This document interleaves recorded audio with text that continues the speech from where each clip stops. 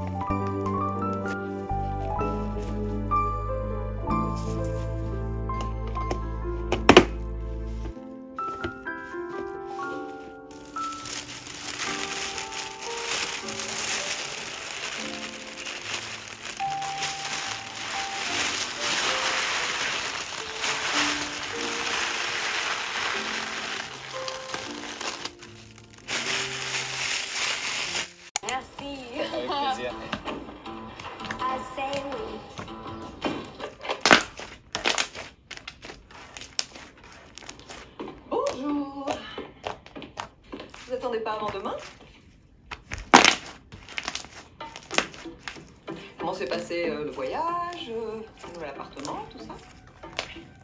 You lost me, bonjour. Oh. Yeah, I was told the American coming here spoke French. That was Madeline. Oh, so you're not Madeline. I'm Emily, Emily Cooper, and I am so excited to be here. Well, that's very unfortunate. Excuse me? That you don't speak French. It's a problem. Well, I'm going to take a class, but je parle un peu français already. Perhaps it's better not to try.